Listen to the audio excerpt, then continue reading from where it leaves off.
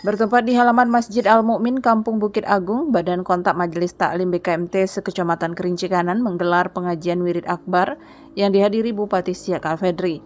Pada sambutannya Bupati Siak mengapresiasi kegiatan yang diadakan oleh Persatuan Ibu-Ibu Perwiritan Sekecamatan Kerinci Kanan sebagai salah satu wujud upaya menanamkan serta mengamalkan ajaran Islam dalam kehidupan keseharian. Mengingat seorang ibu merupakan madrasah bagi anak-anaknya yang menanamkan ilmu agama mulai sejak dini di dalam lingkungan keluarga. Ya, itulah prinsip kan terwujudnya masyarakat potensial yang amanah, maju, sejahtera, dan lestari dalam lingkungan masyarakat yang agamis. Karena masyarakat agamis ini kita harapkan dengan masyarakatnya soleh soleha, beriman bertakwa. Insya Allah dengan itulah baru nanti Allah berkahi negeri kita ini. Baru nanti masyarakat menjadi sejahtera.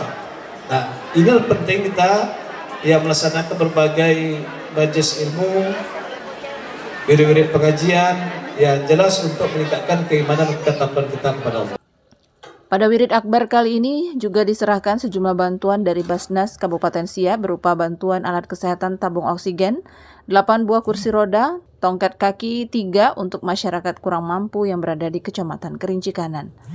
Meski dalam kondisi hujan deras, namun hal tersebut tidak menyurutkan semangat para ibu-ibu perwiritan untuk mendengarkan tausiah yang disampaikan oleh Al-Ustadz Maruli Ashari Hasibuan yang menyampaikan terkait keutamaan bulan Muharram di dalamnya jika diisi dengan ibadah akan diganjar dengan nilai pahala berlipat ganda oleh Allah Subhanahu wa taala. Insya Allah kegiatan kita ini diberkahi oleh Allah mulai awal sampai selesai. Insya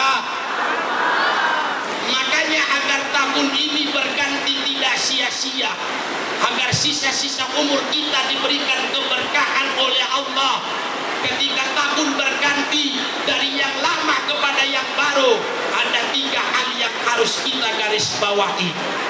Yang pertama syukur kepada Allah atas nikmat waktu yang diberikannya. Dalam Al-Quran Allah berfirman wa tilkal ayyabu nudawiluha bainan nas.